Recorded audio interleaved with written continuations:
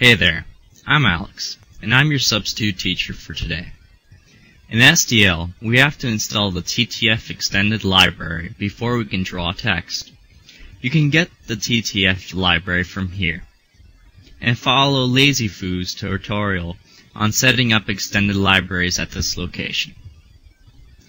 Once this is installed, we will now have to put TTF init in our initialization function and TTF quit when our program is done running.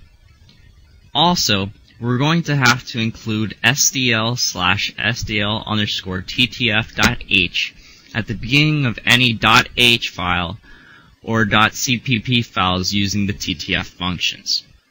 Lastly, we will need to use SDL underscore TTF.dll in the games directory. Now that this is installed, we have to write our own function to display text.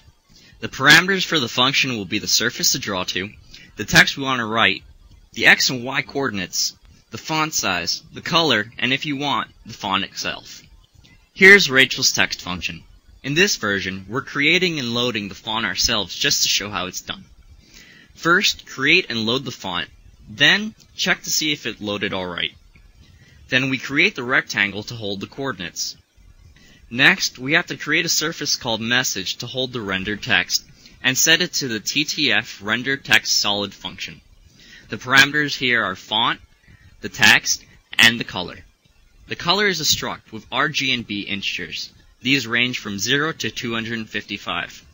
After we render the text to the message surface, we will blit the message surface to the destination surface, which should usually be the buffer. At the end of the function, we're going to free the space by using TTF close font on the font we created and SDL free surface on the message surface we created. Well, that's it for drawing basic text. Next video is regulating frames per second. I'm Alex, and see you next time.